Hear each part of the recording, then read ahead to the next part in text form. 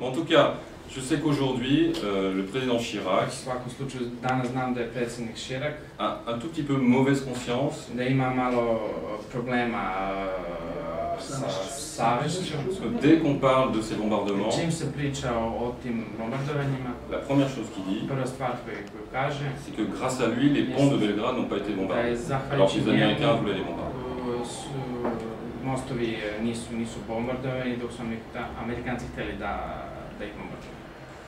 En tout cas, après, donc je ne vais pas revenir sur la chute de Milosevic, Koštunici. Et pour moi, c'était aussi un soulagement parce que ça m'a permis enfin de faire des articles sur autre chose que la guerre et la politique en Serbie. Da, pišemo nečemu drugom osim o, politici i o. Et par exemple, très vite, j'ai fait un reportage sur les Serbes qui revenaient de pays étrangers pour aider la Serbie à repartir. I onda sam pisao članak o ljudima koji se vraćali iz inostranstva u Srbiju da bi pomogli zemlji da, da se rekonstruiše. Dans l'économie, dans la politique, dans la culture. politici, kulturi.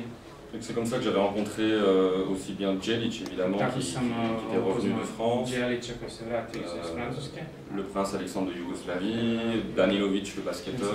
Voilà. Et beaucoup de Serbes qui venaient, pas connus, mais pour aider le pays à, à redémarrer. Plus sérieusement, euh, en 2004, j'ai sorti ce livre qui s'appelle Le goût de Belgrade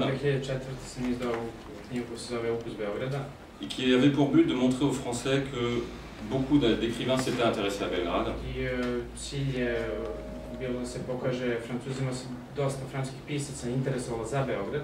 Des écrivains français ou anglais ou américains ou italiens, Francuskih pisama, pisaca e, italijanskih, engleskih. Lamartine, Victor Hugo, Lamartine, Victor euh, Hugo. John Irving, Rebecca West, Irving, e, Rebecca West, Laurence Dorel, Claudio Magris. mm, Claudio Et Magris. c'était aussi un moyen de faire connaître des écrivains serbes. To je isto način da, da se promoviše s- srpska literatura. Et notamment Ivo Andrić, I naravno Ivo Andrić, qui est un petit peu connu en France. koji je mm, poznatiji u Francuskoj. Voilà, je pourrais encore parler pendant, pendant, pendant des heures à mon attachement à, Satima, moj à la Serbie et que j'ai donc exprimé encore l'année dernière avec le roman de Belgrade. Uh, uh, uh, Beogradu, qui est en cours de traduction en, en serbe d'ailleurs, et qui est une monographie historique et un peu littéraire de la ville de Belgrade,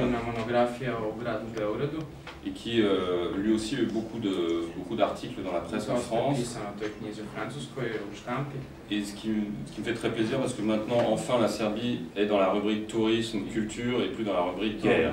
Zato mi je drago, zato što je sad Srbija sve više prisutna u novinama pod rubrikom kultura, turizam, a ne više uh, rat. Et tant mieux parce qu'il y a une phrase de Balzac que j'aime beaucoup, I lepo što je tako, zato što postoji jedna rečenica Balzaka koju veoma volim. qui dit il faut toujours faire bien ce qu'on fait, Radite, do, dobro radite uvek to što radite, même une folie. iako je u pitanju glupost. Veliko hvala. Hvala.